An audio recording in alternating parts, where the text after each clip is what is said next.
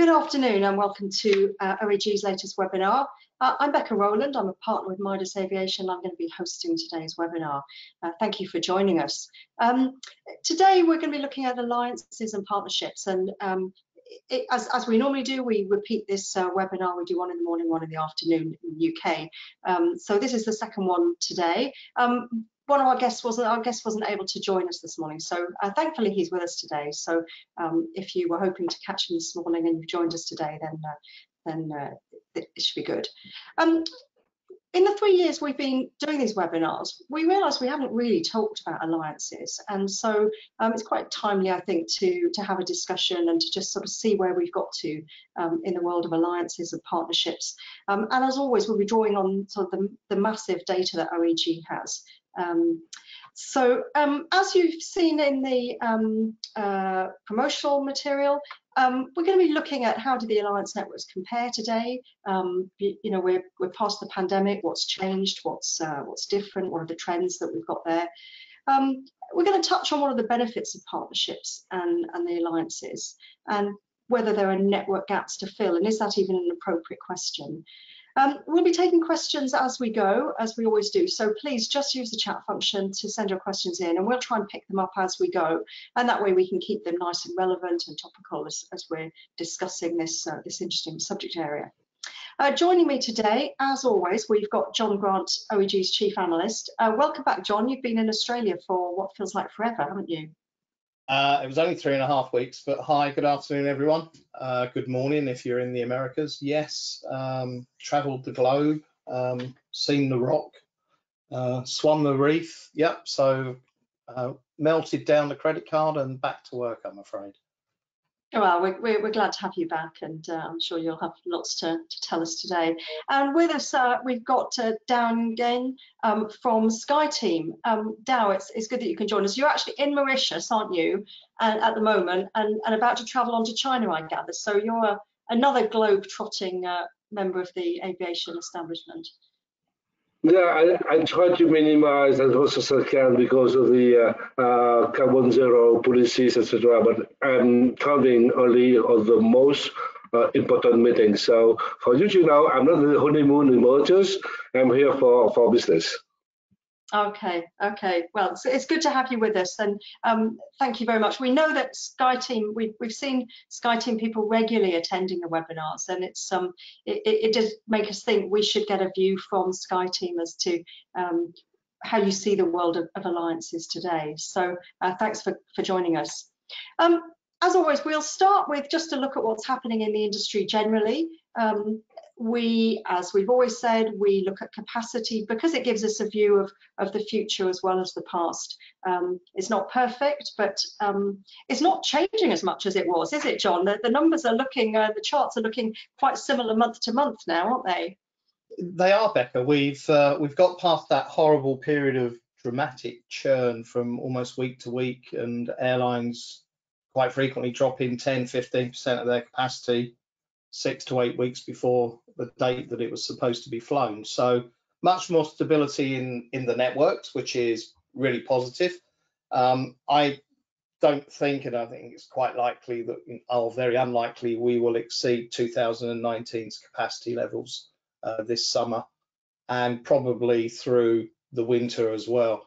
Uh, a couple of reasons for this, you know, um, and and not entirely the airline's fault or directly the airline's faults. Um, there are some real issues with performance of particular engine types that are impacting airlines around the world at the moment.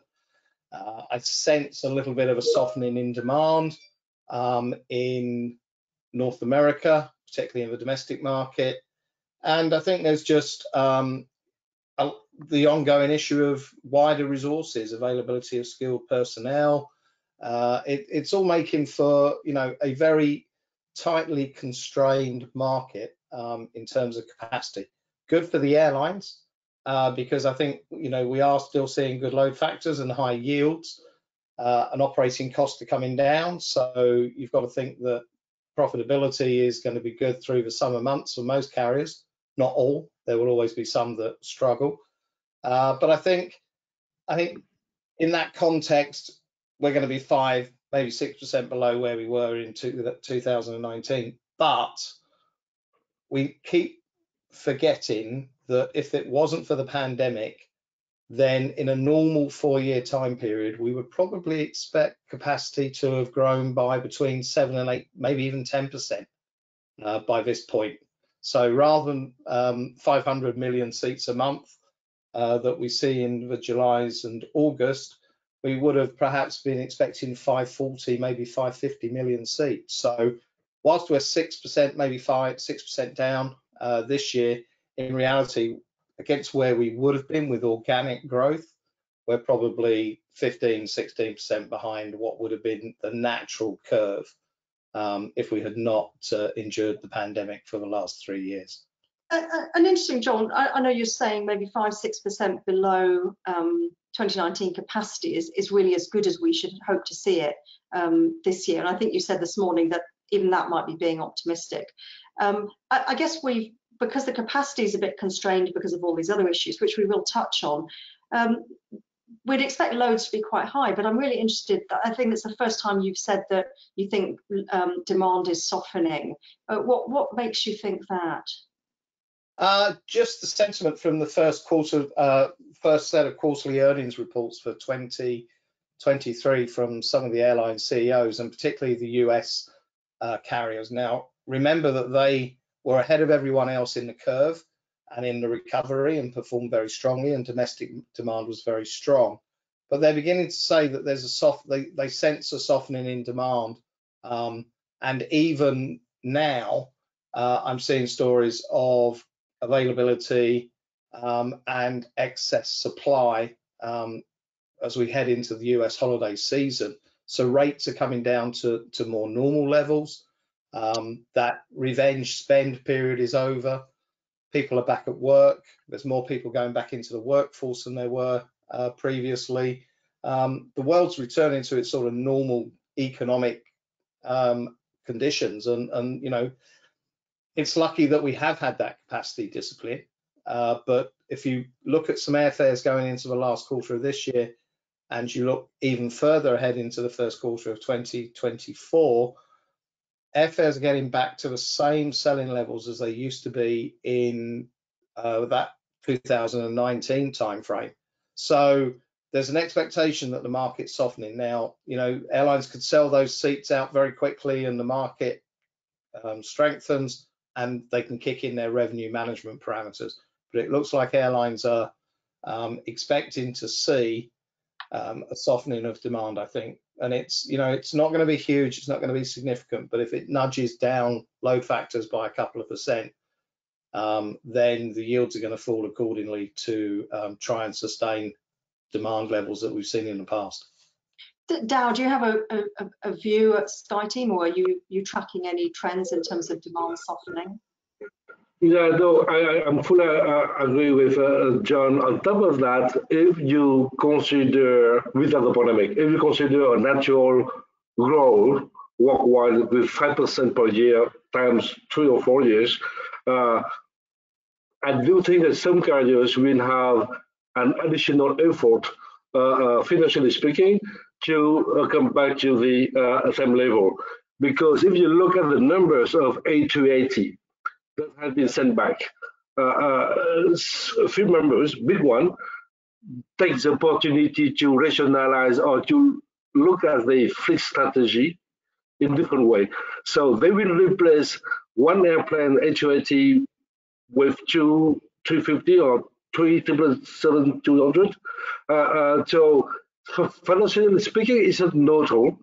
Uh, and those carriers have to decide uh, carefully how they will compensate the capacity of 280, which kind of aircraft to deploy where.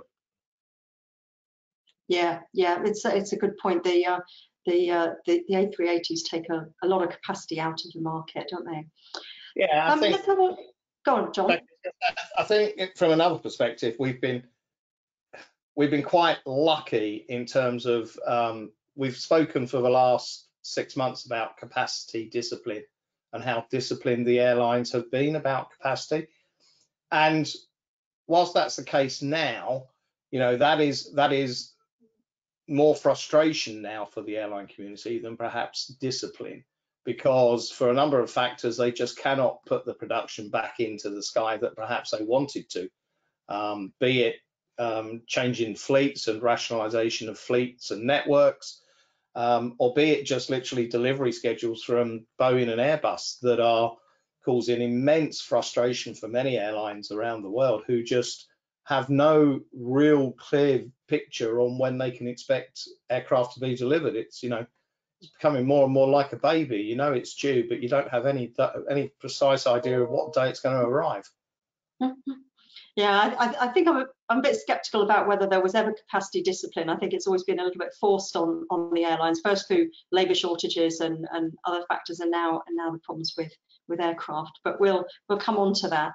Um, let's have a look at the capacity by uh, region. Um, for those of you who who join our webinars regularly, we the last I don't know, six months or so, we've been using lines for this chart, but it's all getting a bit busy. So we've just selected three months, May 2019, May 2020, and May 23, uh, to look at where capacity is for each region. And, you know, mixed results, Europe down a bit, but that's partly the, the Russia effect. Um, Asia uh, almost up to where it was in 2019, um, but that's due to China domestic, whereas China international is still down quite a bit.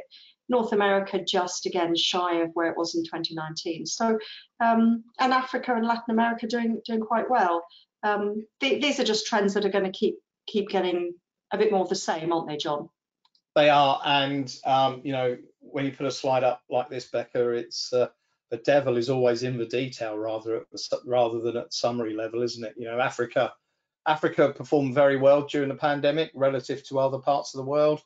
Um, you know, there's been some new airlines um, starting routes. West Africa's performed strongly. Uh, East Africa's done very well, but obviously South African Airways collapsed, uh, and that market's in transition. If you look in Asia, it's all about the the flip in the Chinese domestic network. Um, and the big question, of course, is when does that become or return to more international capacity?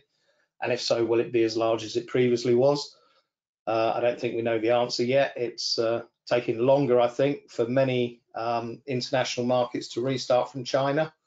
Um, although the European airlines are now beginning uh, to re-enter the Chinese market, but face immense difficulties with the routings um, to avoid Russian airspace, etc. Europe, we're down 7%, um, some real laggards there in terms of re reopening their networks and getting back to 2019 production levels. Lufthansa still significantly behind the market. Uh, you've got the rationalisation of the ITA stroke Alitalia network. British Airways are still behind the curve. And at the same time, you've got Ryanair who, you know, have just continued to stretch ahead of every one of their competitors. Um, Ryanair are relentless. They are like the Manchester City um, of the aviation world. You know, they just keep on winning and they keep on going. And why, when you think you're ahead of them, they come and take over and lead the battle once again. So, um, you know, Michael O'Leary and his uh, order last week for even more 737 Maxes um, is an interesting um, position we're going to have to watch. Latin America's been strong. Middle East, um, you know, we've got more low cost capacity going in there, not just from Middle East carriers, but you've got Wizz Air, of course, who started Wizz Air Abu Dhabi, Wizz Air flying into Saudi Arabia, Fly Dubai, the Indian low cost carriers. Yeah, it's a fascinating scene in all of these places. We could do a webinar on each one of these regions individually and, and happily fill an hour's time, I'm sure. Yeah, I, I, think so. And Interesting with, with Europe, you, you, don't mention the, you referred to, to Lufthansa there and, and, you know, they've been quite slow bringing capacity back. What role do you think is, that is, is there for there's a reduction in domestic flying within Central Europe? You know, the sort of uh, the, the, sustainability arguments that are sort of yeah. beginning to persuade people to to take the train instead. Is that is that a well, factor here? Is that quite small small fry compared to the other? I think the sustainability it comes from different angles, doesn't it? I mean, the sustainability issue in France, um, limiting uh, flights of less than I think was it uh, 100 kilometers or 100 200 kilometers, something like that, and having to uh, be use a, a, train service. Those were ideal routes to experiment with electric aircraft over the next 10 years. Um, that you know that would have been an ex interesting experiment. Um, and it's just encouraged non-French um, carriers such as BA and Lufthansa to start operating to those points and take connecting flows. Uh, so that's the point. I you know I can't, and Dao's closer to it than I think anyone with the SkyTeam head office in in Amsterdam. I can't really fathom for for any real common sense the Dutch government's sudden imposition of capacity constraints on on Schiphol Airport and, and KLM. You know, this is an industry that that works on planning cycles of five or six years for fleet plans, and a government steps into a discussion and says overnight you're going to have to reduce your flying by 20%. I mean that that that just is not joined up thinking for the wider economy. Um, so you you have that, and you have you know um, more use of train services in Germany. So there's certainly other external factors that are, are, driving what's happening in Europe. But you know, make, make no mistake, in the next eight weeks, half of Europe will fly from the north to the south and go on holiday, um, and that will always be the case. And there'll always be a need for air service.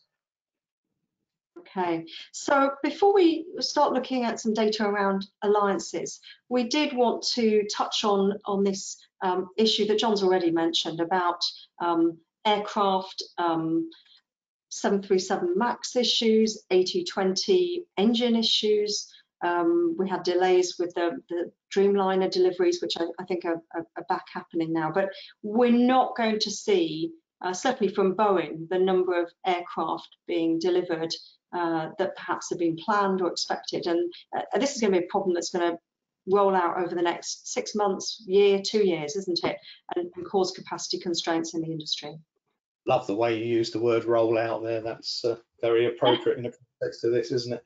Yes, it's um, it's going to be a struggle, isn't it, for everyone? I mean, Boeing have clearly not solved all of their problems about deliveries um, and indeed the technical um, performance and reliability of some of the aircraft they're delivering.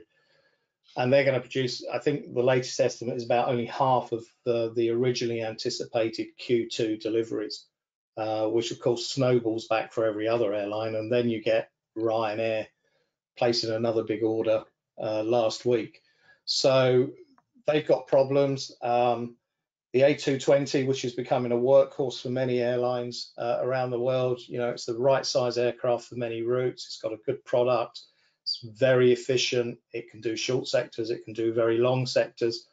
The Pratt & Whitney engines are not performing as expected, requiring more frequent uh, maintenance checks and overhauls, um, leading to some airlines having to completely revise their schedules. Iraq Airways have, have dropped all four uh, A220 aircraft they have from their network.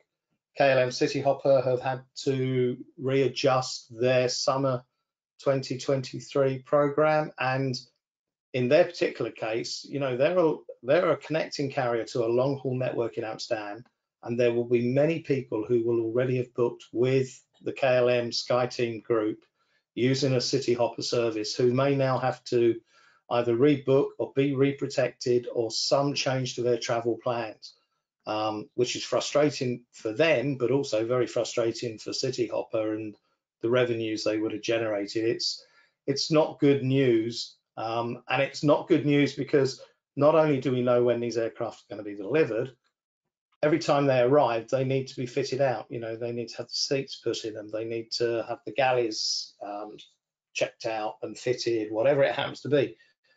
And that takes sometimes another four to six weeks. And if the air, airline doesn't know when the aircraft's being delivered, asking their um, cabin fit out teams to be available and their suppliers to be available and the seats to be in place at the right time um, just pushes the whole issue further down the track and makes it more difficult for everyone. So the table we've uh, we, we put in here um, was, I, I, guess, because we were seeing quite a lot of publicity and, and media coverage about the A220 engine issue. Um, including for KLM Cityhopper. Um, and I was interested to see, you know, how much is this affecting other airlines? Um, so we've just taken for the month of May, uh, there's a list of um, the number of that aircraft type that each of these airlines have. And that data has come from CAPA. Um, so thank you, CAPA. And, um, and the other data is just the average time per aircraft in the air, um, it may not be you know exactly right if some of those aircraft are, are parked and we don't know that they are but there's a, a, wide variation there. It doesn't seem like this issue is affecting all the airlines the same. JetBlue down there at b6 and, and delta are still getting pretty good aircraft utilization at least in terms of what's being scheduled for these aircraft. So is it is it an issue for some airlines in particular um, more so than others um, and there are other factors at play here so airBaltic which is bt um, had an extensive network to Russia, uh, which obviously for the last 12 months hasn't flown. Um, so you know they they've developed some long haul routes into the Canaries, um, and they've expanded their position in the in the wider Baltic market. Uh, so you know that's that's partly driving their current utilization. Um, and then you've got other carriers, as you mentioned, like Delta, um, who are still racking up good hours. Um, I think the frustration for all of these is, you know, this is an aircraft that can do all sorts of great sectors and, and flying for them, and it's just the uncertainty that's now been created um, in the market.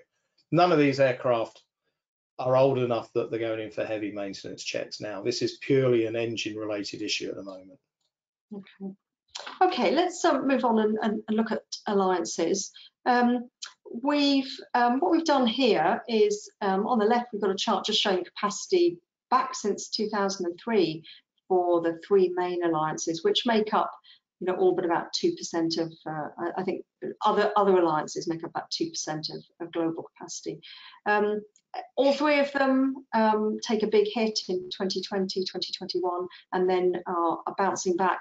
Um, pretty much as the industry is. I, I did look at some numbers earlier today. Um, they haven't come, certainly at the end of 2022, capacity for these three alliances haven't come back quite as much as for the industry as a whole, um, but, but wasn't far off. And then on the right here, we've looked at the capacity share by alliance and by what else is in the market. So we've got the non-aligned low-cost carriers. Obviously, they're, they're non-aligned, non-aligned legacy carriers, and then this dark yellow is is just the other alliances and the affiliates. I think what we're seeing, John, is is that as the low-cost carrier share gets bigger, the the the alliances have been squeezed a bit, haven't they? I think I guess that's inevitable. Um, squeezed or stabilised. I think their, their share of, of global capacity is nudged up a little bit over the last 20 years, and you know it has been higher at some points, um, and obviously tailed back a little bit since 2020, um, and that's been because some carriers have left alliances. Uh, but I, I, think the other thing, Becca, is the growth in the, the non-aligned low-cost carriers. Uh, that's where much of the action has been around the world in the last decade. Uh, that's the growing segment. Um, and you know, the uh, for me the interesting thing is if you look at the non-aligned legacy carriers, we've probably got a list there of about 300, 400 airlines around the world, um, some of which will have a geographic uh, position or nuance. People like Widerøe, perhaps. Uh, in Norway, who are serving very regional communities and similar airlines, some with PSO, public service obligations um, that help them in their networks. But a lot of those non-aligned carriers are, you know, relatively small, quite a few are state-owned. Um, many of them are unprofitable, and, and from an alliance perspective, and I'm sure Dao can tell us more about this, would they actually add more value to the alliance than they would burden in terms of administration, effort, coordination, resources to bring them into an alliance. You know, sometimes sometimes I feel it would be better for an alliance to align itself with a low cost carrier um, and a hybrid carrier than it would to try and find a new legacy member. Yes, but I I think that it is also another effect uh, that give the floor after years to low-cost carrier to uh, grab a bit more market share in terms of capacity. Uh, the topic is a consolidation. Uh, the last 10 years, uh, a bit more than 10 years, when you have a lot of um, consolidation in the US and Europe, is, you know, you, when you put two carriers together, you are not increasing from the sum of the two. So you have the first phase of rationalization, and then step by step growing uh, could be completely adapted to the market. So every time you rationalize the capacity of two carriers, you give the floor or you give opportunities for low-cost carrier to appear on those ONDs that you have, uh, uh, I would say, uh, rationalize the, the, the, capacity. So the double effect, the cost consolidation, and the other one is also the the success of the uh, uh so-called low-cost give appetite to some entities to take a risk to launch the uh, uh, of the long haul. Yeah, I think that's that's uh, that's a really good point. Um, we've got some more numbers about the three alliances, or the three major alliances anyway. Um, we've got some numbers here for, for membership, and I know SkyTeam might have 20 if we include Aeroflot, which is suspended. I know we've got a question, which maybe we can come to in a moment, about that. But Dao, your your view is, if any, I mean, it, this is even 19 or 20 airlines is quite a lot to have in a membership, isn't it? And you really, if if you were to think about adding a member, you've really got to know what value they bring in terms of extra destinations, what geographic coverage. Um, I get the sense from talking to you previously that that that actually it would take quite a lot to to bring in another member at this point. That this you know the the coverage you have is is pretty much what you need, and the coverage for each of the alliances is not dissimilar really. Completely, yeah, yeah, completely. Uh, from the beginning, uh, SkyTeam strategy was uh, not increasing memberships just for the sake of increasing. We want to focus on the uh, kind of key catchment area in the uh, region to have one strong members, or at least the, the challenger of the flag carriers uh, to cover that catchment area. Um, and we didn't have the ambition to, to, to increase the number of members just for increasing because we we want to focus on the customer experience as our motto. And then you know how difficult to align carriers uh, uh, of the commercial policies to propose the same services in order to ensure to the customer, uh, whoever uh, is operating carrier, as long as the customer is taking SkyTeam, he or she can expect the same services. Uh, uh, and you know, there's some area that are still uh, not under the seamlessness uh, discussion. You have carriers who apply for the baggage uh, piece concept, the other one apply the weight concept. sometimes it's, it's a nightmare for the customer. Uh, so SkyTeam, we start since a few years to align as much as we can, creating services and products that serve our members and giving a kind of, you know, the notion of metal neutral. So the mm. customer has the feeling whoever is operating the metal in terms of services is going to be the same. And this one is easy to do when you are alone. You start challenges when you have you and another one. So if you times uh, uh one carrier 20 times, you can guess what is the mountain of uh, workload and challenges. So Star has a different point of view. OneWorld has a different strategy. As for SkyTeam, we want to cover right now our effort of the white spot.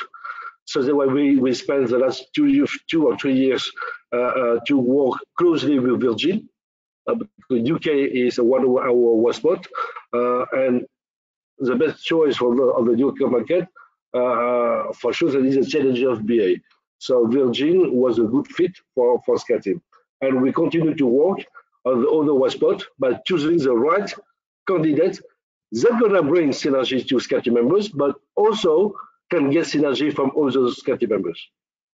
Yeah, that's uh, it's, it's really interesting. And Becca, I think this then leads on to the point that given that complexity um, that, that exists and is really, really difficult now to um, grow further and build out, why we still see many informal and indeed a growing number of informal relationships between alliance members and airlines who are outside of any alliance. Or perhaps are within another alliance because there might be a specific market need, there might be a specific weakness in a network that Dao's identified and talked about as the world grows and new markets emerge. And it's easier to work on that basis for an airline, one airline on a bilateral basis with another than try and drag 18 other members into coordinating their schedules, coordinating all their standards, procedures and policies when only one airline really sees a commercial benefit and wants to see something happen. Yeah, I think we're, we're going to look at that in a little bit more detail uh, further on.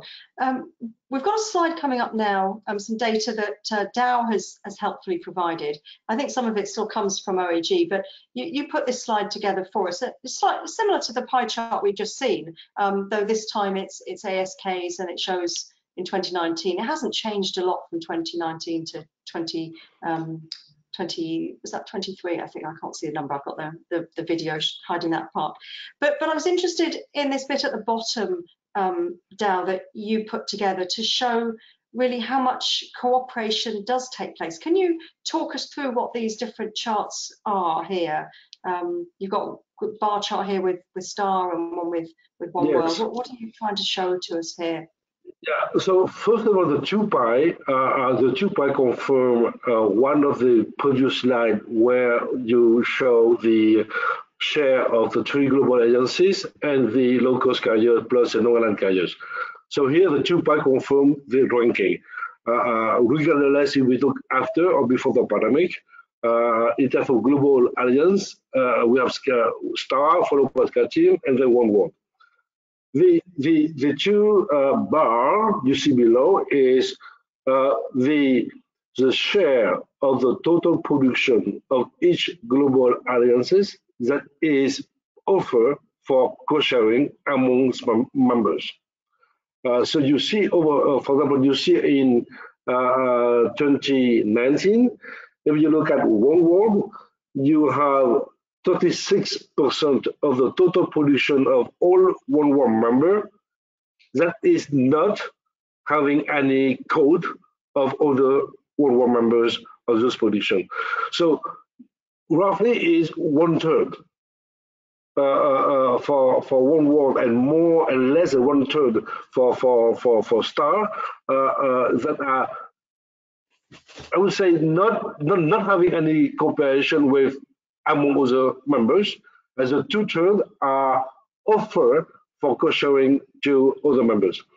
So there's two explanations. The first one is uh, the one third showing that the result of cooperation is a kind of bilateral negotiation. So I would not say why I would give you more than you give me. So could be that reason. The second one is also the cost share is selecting connected flight, A, B, and B, C. So carriers choose the connection that will allow carriers to be first displayed via GDS. But the other frequencies of the same OND will not be chosen for cost sharing because uh, there's no meaning to display two or three routing. So my point is the one carrier choose, uh, uh, uh, uh let's say, uh, JFK Atlanta as the cost share segment beyond JFK, regardless of how many frequencies you have between JFK and Atlanta. You pick up one. And that is counted in the two-third production that carriers offer for cash sharing. The other one-third can be other frequencies on JFK Atlanta that are not covered or other destinations that are the primary market of the carrier or not offer for sharing. Uh, so it's and, interesting analysis. Yeah, I've not seen it done like that before. Yeah, and just add the last one is the, the, the statement you can have in mind when looking at this is every global alliance seems that they are not uh, uh, have a full co-sharing among all members by having less than one third of capacity or ASK uh, to be co-chair. So there's a lot of opportunities. That's why, that's why you have also the uh, very small numbers, but however quite significant for one world, 3.4% uh, uh, or 5% in 2019. One world carriers also decide to implement co-sharing with star members or SCA members because the product have better quality in terms of connection than with their own members. Yeah, I think we, we, we've done a piece of analysis with some OAG data looking at, um, uh, sorry, there's lots of numbers, aren't there, for everybody watching here. So we've got the three alliances here, and we've just looked at the schedule for this month and said how many code shares um, partners are there within each alliance and um, or how many flights are there that are offered within the alliance and, and with code shares outside the alliance. And it, it really it, it, really shows that these alliances are not exclusive clubs, are they? That, that the you know behind the alliances, there's always been a certain level of pragmatism. Um, you know, it's a it's a pragmatic solution to a problem. Um, and and when an airline, as John was saying earlier, when it's beneficial to them uh, to work with a another airline that's outside their alliance, actually that's what happens, isn't it? So we've yeah, got I mean, Turkish Airlines here. Um, if you're and, sorry, if you're a network planner, I was going to say, and you see an opportunity for a million dollars worth of revenue, but you have to strike a code share, uh, uh, some commercial agreement with a carrier who's outside of your alliance, you're going to do it. Why would you not do it? You know, it, that it is that pragmatism about the opportunity there are some markets, to Dao's point about, you know, finding a, a carrier in a country who you can work with, there is only maybe one airline who dominates that market. I mean, Australia is a great example. You know, if if you weren't with One World, um, then that if you weren't with One World and within you know working with Qantas, then the only other carrier you could work with was Virgin Australia. So you worked with Virgin Australia. Um, similarly, in South America and Brazil, you know, GOL had a dominant position for a very long time. It's it's commercial pragmatism um, at its at its finest, and it provides the greatest connectivity and options, not just for the airline, but for the passenger and the traveller. I mean, imagine what the airfares would be like to somewhere like Australia, where one airline had a had a very strong domestic position. If there was no one else, these airlines could feed. Hmm. And, and I guess history plays a role as well, doesn't it? We we've um, talked about ourselves about China Southern, and you know they left SkyTeam, and there's all the question about whether they'll go to One World. But actually, having worked with SkyTeam members in the past, um, it, it's it's hard to untangle yourself, isn't it? And you know you've got relationships that work. So I think China Southern still works, particularly with KLM, doesn't it? Yes. Yeah. So so, sorry, uh, John, going over this one. Uh, indeed, uh, CZ Living SkyTeam, however, they kept almost all the partnership, historical partnership uh, uh CZ has with all SkyTeam members. Uh, uh, and by using some product that serve the, the customer experience. here, the, the, the most, first of all, you, are, you miss, we miss SkyTeam, we miss Virgin because I think that the uh, the Virgin uh, data related to Virgin are pretty recent, uh, so you don't have in your in your uh, uh, statistic. The the most interesting thing is if you look from the carrier point of view, why do I have more? Why don't I have more than co-chair than that is shown here? Because the, the carrier mindset is once I have a code share with one partner on one OND, I'm happy. One itinerary or two itineraries maximum, I'm fine with that to, to constitute my offering. Because if I add more multi-routing, it means that I have to add more workforce, more cost uh, uh, to manage this one. From the customer point of view, if you say, you I come to you as a loyal client, and you offer me only one alternative from A to B. If I want to have all the routing, I cannot. So that's why you are pretty limited in terms of number of share.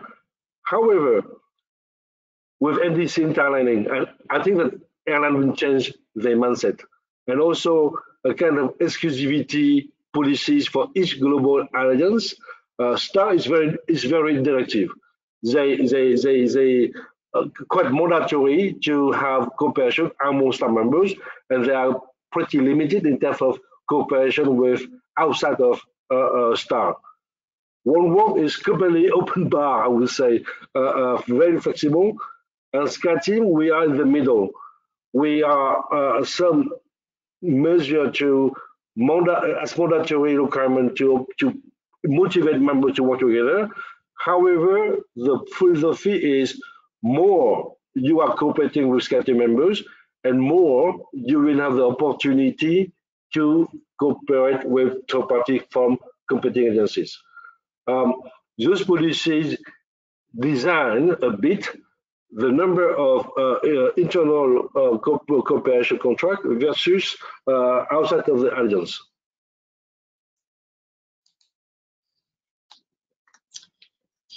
Okay. Don, did you have anything to add there? Well, it, you know, I, th I think it's really interesting the approach of all of the different alliances and what they will and they will not allow, or what what how they they think about this particular issue. I think one of the things that that is increasingly interesting to me is where the role of those low cost airlines and those very low the low cost airlines who are now perhaps more hybrid models sit and facilitate regional growth and regional connectivity for each of the alliances um, you know, for the Middle East carriers, I thought it was a really three, what four years ago, five years ago, there was that big dispute with the big three US carriers complaining about anti-competitive behavior from the big three Middle East airlines. Some of you might remember that. And yet they were all quite happy to suck up millions of dollars of revenue in Los Angeles, New York, San Francisco, Chicago, wherever it happened to be that had been fed to them by Etihad and Emirates um, that otherwise they wouldn't have enjoyed uh, because they operated to destinations um, that the American carriers wouldn't want to operate to. So I think I think it's it's a very evolving situation. I think carriers like JetBlue and EasyJet, who have worldwide, you know, distribution capability, um, are really interested in some of the other low-cost carriers that are emerging around the world.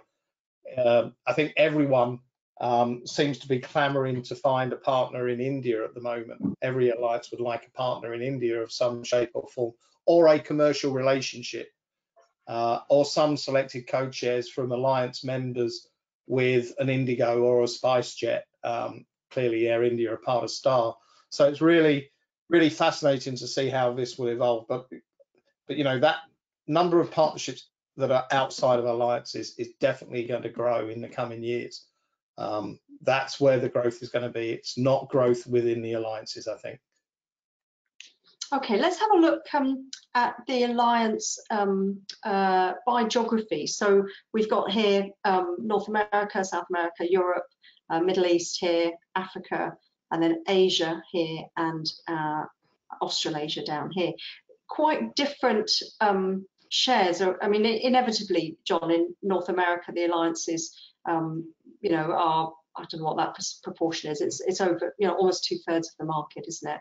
Um, in terms of capacity, is accounted for by three alliances, but but elsewhere, you know, much less. And and in Africa, you know, you and I were talking earlier about this, you know, very large proportion of capacity that's with non-aligned legacy carriers. Are there opportunities here for um, for alliances to get involved with new carriers, or is it is oh, it just a bit tricky know out? I think so. I think I think this uh, this chart, as much as anything else, Becca, reflects the the maturity of markets around the world and the difficulty of in some markets um, to to grow outside of their, their own market region. So having to use alliances, you know, three quarters of capacity, about well maybe 60% of capacity in North America is in the hands of the alliances. Uh, similarly, in Europe, alliances have a, a, relatively large share, although low cost is growing. And and it's interesting that you know in those markets that are more mature, the alliances have a more established position. Um, and the two markets that strike me as being obvious places for further alliance development, cooperation, pragmatic code shares and bilateral agreements are the Indian subcontinent and Africa.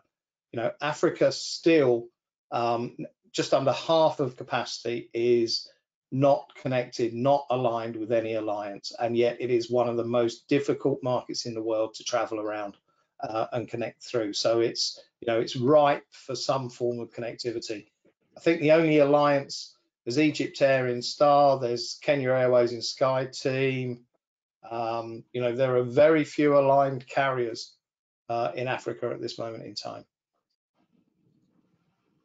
And, and, and what about the, the future for the, the Middle East? We see things changing quite rapidly there with, a, you know, we, many of us, you talk about the Middle East, you tend to think of Etihad and, and, Emirates and Qatar, but actually we've got lots of low cost activity and we've got Saudi Arabia doing lots of interesting things as well. It's just huge ambition. Um, are we going to see the need for a Saudi alliance member? Well, Saudi are a part of Sky Team anyway, um, so you know that's that's a tick box. Um, be interesting to see whether Riyadh Air, when it forms and starts operating next year, feels a need to be part of, an alliance, and I think it would need to prove itself um, before it would be considered by an alliance. Um, Dao's Dao's smiling, so maybe he knows something that we don't know. Um, and you know, I, I, think everyone everyone would um, every alliance would be very keen on getting Emirates in some shape or form to to join or participate. Um, can't quite say the same for Etihad. I'm afraid it's not quite the same size and scale uh, that Emirates are. Dao, did you want to comment here on the sort of regional makeup of, of alliance or the sort of penetration of, of alliances in different parts of the world and where the opportunities are? No, I'm, I'm, first of all, I'm, I'm, aligned with the analysis from, of John. Uh, small remark that the the the, the snapshot gonna be different if you come back next year or you know end of the year. Uh, things gonna change uh, for sure for two reasons. First of all, there's some big uh, there's some cases are ongoing uh, regarding uh, I would say a merger or consolidation. So if you look at Asiana and Korean Air uh, uh, next year, when it's going to be over, it's going to change the, the uh, dominant position in Asia. If CZ decides to join one world, uh, one world, you're going to have also some modification there. The, the key point is uh, I do agree with Africa continent uh, that maybe because of the infrastructure uh, in the in Africa, we don't have an airport infrastructure good enough to optimize the connectivity if one of those flight carriers join SkyTeam One World or Star. Yeah. Okay. Let's um. We've got another.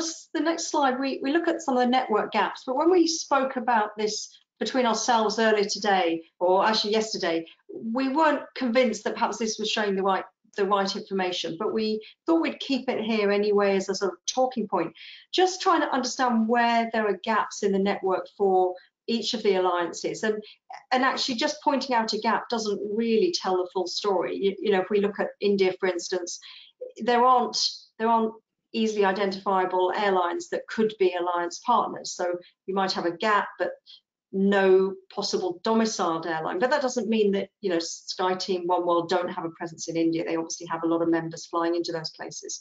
So um, it, it's a bit more complicated, isn't it? And I think you, have said before, Dao, that, you know, that you have a, a, an approach at SkyTeam of working with the, the main carrier or the challenger. And you know, in a market like the UK where there's you know there's two legacy carriers really, then then that's there's only options for two two alliances to have partnerships really. Yes, so for first of all, for for for sake of clarity, uh, here my my my my reading would be it's not the network gaps as such because all carriers, one world SkyTeam or, or, or, Star, they're operating to the westport. Uh, even though, you know, like India, we don't have any member in India yet. However, if you look at the number of frequencies, we are operating more than more than 10 frequencies per week. Uh, uh, if you look at SkyTeam members going to from India. The gap here is more the market presence. So the commercial support of the home carriers in the country where you don't have any member. Uh, uh, so when you are uh, estimating um, one of the synergies when we are estimating when one country join a global alliance is what is the dominant, what is the uh, market presence share of that carrier on his own market. So usually you should have Air France uh, dominant position in France, Lufthansa dominant position in Germany, etc. Uh, uh, when you look at the market where we don't have any uh, uh, home carriers taking part of one of the three alliances, then we look at the weight of the carriers from each global alliances operating to from that country. And normally, uh, we it's very rare that we are uh, uh, looking for carrier from those market because they are small. So that's why we are looking more the white spot where we have a key flag carriers and the key challengers and the flow are significant enough for us to explore a membership. And okay. it's quite interesting uh, taking Dao's point a bit further. If you look at somewhere like London Heathrow, Becca, BA, uh, the One World Alliance has got 2.4 million seats this May. and um, Star has got just over 800,000 seats um, departing London Heathrow. So, you know, it's about a third the size. But the Star Alliance carriers are all in the same terminal, using the same facilities, and are actually more effectively grouped together than the One World carriers at Heathrow, who are split between three different terminals. Um, and you frequently find the carrier who is, or the alliance that is not the dominant alliance at an airport, works harder to coordinate its operations and to have all of its members in the same facility or the same terminal or the same space or the same satellite, whatever it happens to be, because it creates the commercial, gives them a commercial advantage over the home carrier. You know, BA would BA would obviously claim there's not enough space in Terminal 5 um, for all of the alliance members. Some people, some people may argue it's because they don't want to share their crown jewels and their prized asset at Terminal 5, if it is a prized asset, with other members of their group.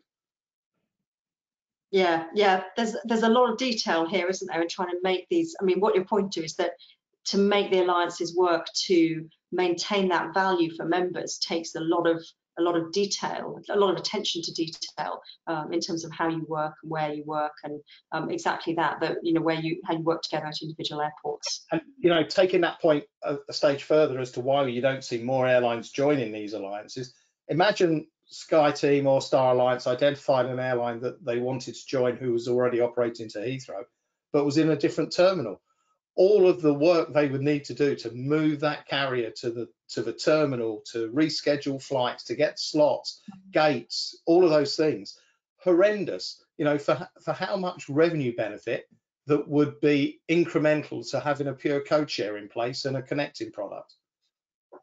Yeah, yeah. Yep, good point. Okay, we've still got a few more slides to go. We're, we're running out of time rapidly. There's too much to say on this subject. Um, we've got a slide here just with the um, SkyTeam network. I, I, think what we'll do is, is move on from this. The, the, networks are broadly, then if we looked at Star, we looked at One World, they, they wouldn't look you know, so different in that they are trying to get some sort of worldwide coverage. So let's let's move on to the next one. This one was um, this is looking at on-time performance, and it raised the question for me because OAG has got on-time performance data. We had a look at on-time performance by alliance for year to date, and then for the top five airlines in each of each of these groups, just to see if there were any differences. And we had an interesting conversation really about um, you know to what extent are operational things like this um, within the gift of the alliance is this something that it can influence? You know we look at SkyTeam we've talked a lot on these webinars about how well delta have done. Um, delta's got a you know a great um, on-time performance year to date of, of over 81 percent and a relatively low cancellation rate. But are there is it possible to share best practice between alliance members or in, in, in areas like on-time performance? Is it is it is too much a factor of geography and the individual airlines. So I think, John, that's your thinking, isn't it? That what Delta does can't be replicated at Air France or China Eastern in this respect. Now, every every airline and its you know its operation has its own nuances and its own challenges that it has to face. Um, what I, I, my takeaways from this um, are some things that you know I've been reminded of in my past. Um, I think every alliance, when it vets or is looking at new members or partnerships, looks to see that the product consistency of the, the airline they're in discussion with or with whom they want a commercial relationship has the same sort of values and the same sort of product specification that the existing members or partners do. You know, SkyTeam wouldn't want to really bring a new member or a, a partner to um, the table if their on-time performance is just 30%. It does, you know, just it tarnishes the brand, um, and or it has a very high cancellation rate. Um, so there are many aspects that people perhaps don't realise or don't consider, and Dao can can share more. I'm sure um, I'm sure on that basis. But I know in SkyTeam, one of the criteria for SkyTeam membership many years ago was a certain percentage of an airline mem uh, an airline's employees must be able to speak English um, on the front line, cabin staff, uh, customer services staff, so there was you know a common language that was consistent across all of the airlines. Um, and there are all sorts of all sorts of um, requirements um, that are in place, um, and they're they're ambitious and they're they're not always possible to achieve. But but each of these alliances, it is about creating seamless connectivity with a like-minded group of airlines around the world who realize the commercial um, possibilities and opportunities by working together rather than working individually. Dao, I'm, I'm assuming you're going to agree with John there. Yeah, for fully agree uh, of the key principle and the, the benefit of, uh, of the kind of uh, uh, uh KPI. But uh, I will not comment more on that because I know that some carriers using the on-time performance as KPI is a salary calculation for, for pilot. so depending the criteria is a bit, the subject is a bit complex. Uh, uh, so the on-time performance definition may differ from each airline. Yeah, yeah. In interesting discussion. You know how how far and wide do um, do aspects of the operation affect um, the alliance performance? Okay, we've got a couple more slides. Um, these are both what if. So one, we touched on this really, we discussed it quite a bit already. You know, China, um, what if um, China Southern were to join One World, it would add, um, give them 17% share of uh, China capacity if they were to do so, compared to now where there's just about 0.4%. Obviously, when they're part of SkyTeam, they'd have had a, a, a larger share again. Um, but, but there's a lot of, we, we've already said, haven't we, that it's it's taking time and i think both of you when i've spoken to you john you you think it would happen sooner and dao you think there's more holding it back so John, the floor is yours. well, I, yeah, I mean, there's there's obviously two sides to the opportunity. The um, from from an external perspective, you um, you can see, you know, that that obviously they've decided to leave SkyTeam for whatever reason. They're creating a hub in uh, Beijing, Daxing. BA have moved their own Beijing services to Daxing rather than Beijing Capital one of the few airlines that have actually, international airlines that have actually done that. There is um, a couple of slots that BA had at Heathrow that apparently have been earmarked and allocated to China Southern or loaned to China Southern so they can start flying Beijing London alongside Air China. You know, there's a lot of politicking going on between those two airlines that would suggest there is something in the offing, but Dao, to your point, it's really difficult to untangle yourself once you're in a in an alliance, isn't it? Yeah. So my my my my my personal analysis differ a bit. So first of all, all all of us we know that British Airways since a while uh, didn't get to China because of the slot issues as a capital airport. Uh, uh, however, however, at the very beginning discussion we had SkyTeam with CAC, uh, uh, uh, they the authority has in mind to design the Daxing airport as the SkyTeam airport. Uh, and you see right now the structure of the Daxing airport. In one hand is China Eastern, in other hand is China Southern. Uh, and, and Air China will stay as a leader as a capital airport. Um, and then the problem, the came.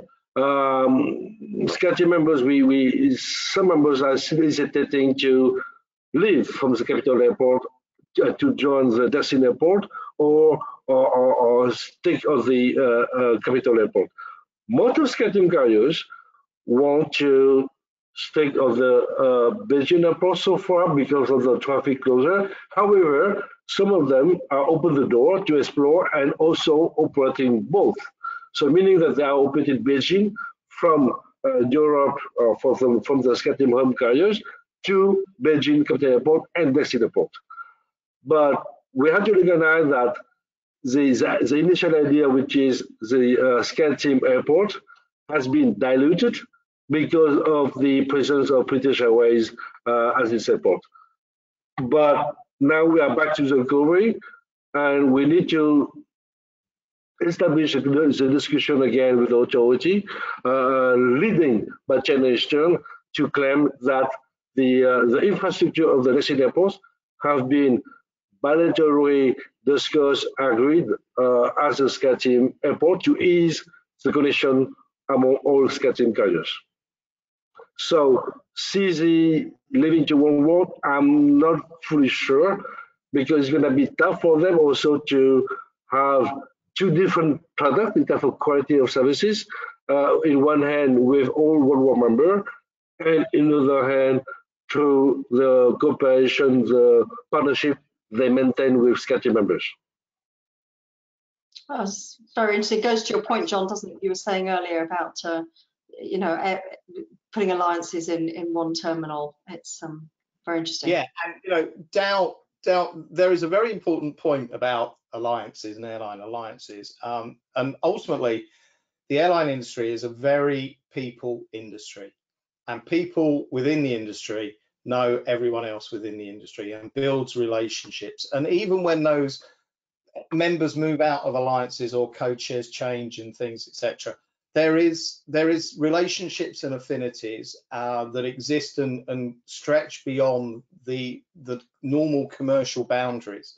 You know, so sometimes when you when China Southern may move out of a, a SkyTeam alliance, but they will they will have created so many personal and business relationships with members uh, individually and collectively within the alliance that they will still have a degree of empathy and loyalty and want to do business with those people because they trust them and they've worked with them and they know how they work it's a you know it's a very small knit industry we're actually in considering how many billions of people we carry around the world every year you are completely right, John. You're completely right. And most of that is the former CEO of China Eastern. Now he's the CEO of China Southern.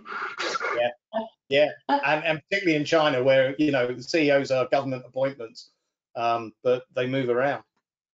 Correct. Uh, very interesting. We've, uh, I'm, I'm aware that once we go past the hour, um, people people often leave leave. You've uh, scheduled an hour for the call. We've just got one more slide left, so please do stay with us if you can. Um, but if you need to leave, um, we will be back on Wednesday, the 14th of June, with the next webinar. But let's uh, let's have see if we've got a few comments. Um, for this last slide. So we haven't got a what if China, we've got a what if Middle East. Now in the last uh, week, or was it two weeks now, two weeks ago, um, Emirates and Etihad announced an interline agreement. And I know, John, you've written a blog for OAG about this. Um, um, I think it was OAG, was it? Or was it somebody else? Uh, uh, for someone else. You, you, write a lot of the industry, but but you your view is is that this is just um, it's for show, really, isn't it? Yeah, this is gesturing, isn't it? This is showcasing. Not substance. Showboating, whatever you want to call it. Um, it's a grand gesture um, to put this out though, and um, to say that this is to uh, further develop tourism in the United Arab Emirates is, is, you know, a pretty hollow statement.